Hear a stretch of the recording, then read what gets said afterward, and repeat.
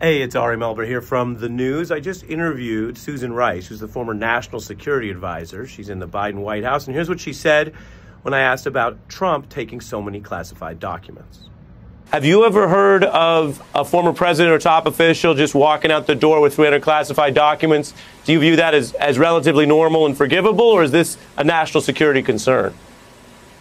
I have never heard of something like that. Um, I don't want to stray into the national security lane, uh, and, and, I'll stay in my own. But I think it just is a statement of fact. I've never heard of something like that.